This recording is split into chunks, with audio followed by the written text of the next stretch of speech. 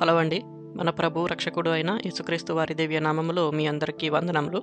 ఈరోజు మనం ధ్యానం చేయబోయే వాక్య భాగము లుకాసు వార్త తొమ్మిదవ అధ్యాయం నలభై ఆరు నుండి నలభై ఎనిమిది వచనాల వరకు.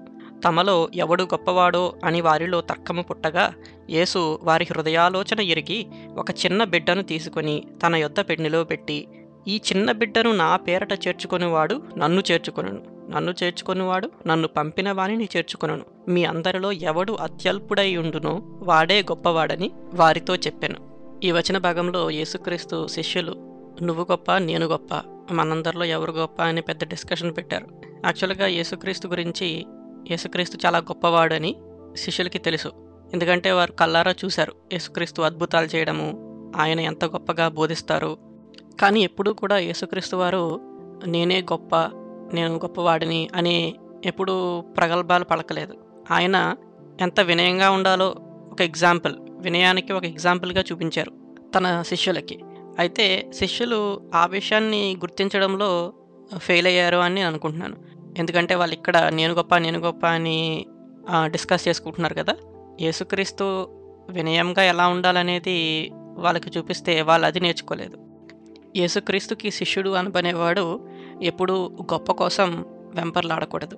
ప్రతిష్ట కోసం పవర్ కోసం ఇటువంటి వాటి కోసం తాపత్రయపడకూడదు. యేసుక్రీస్తు శిష్యుడు అనేవాడు ప్రేమ కరుణ చూపించేవాడిగా ఉండాలి.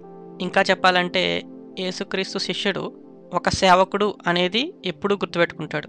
అంటే అందరికీ సేవ చేయాలి అనే విషయాన్ని యేసుక్రీస్తుకి శిష్యుడు అనబడేవాడు ఎప్పుడూ గుర్తుపెట్టుకుంటాడు.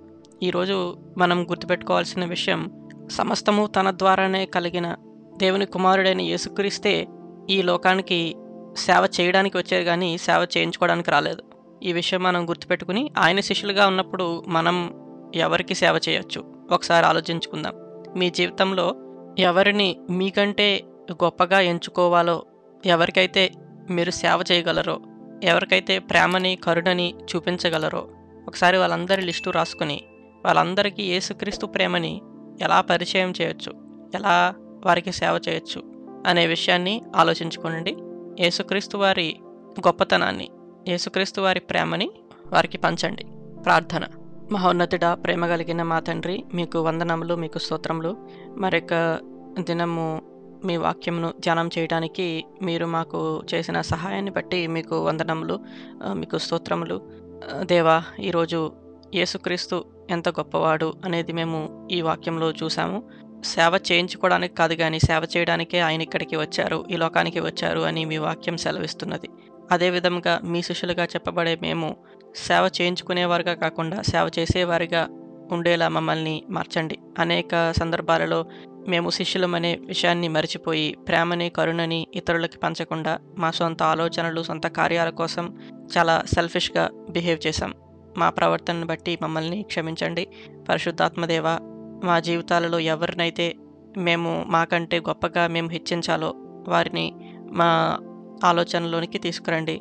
వారి కోసం మేము ప్రార్థన చేసి ఇంకా వారికి ఎలా సేవ చేయాలి? యేసుక్రీస్తు వారి ప్రేమని కరుణని వారికి ఏ విధంగా తెలియచేయాలి పంచిపెట్టాలి అనే విషయాన్ని మాకు తెలియచేయండి ఇంకా మమ్మల్ని ఆ దారిలో నడిపించండి. మీ సువార్త కోసము మీ రాజ్యం కోసం మేము మరింత ఎక్కువగా పనిచేసేలా మాలో ఆ కోరికని ఇంకా ఎక్కువ చేయండి. మా అందరి జీవితాలని మీకే అప్పగించుకుంటున్నాం ప్రభువ. మా జీవితాల ద్వారా మీకే మహిమ ఘనత ప్రభావములు పొందుకోమని యేసుక్రీస్తు వారి దివ్యనామంలో ప్రార్థించి వేడుకొనుచున్నాము తండ్రి. ఆమెన్.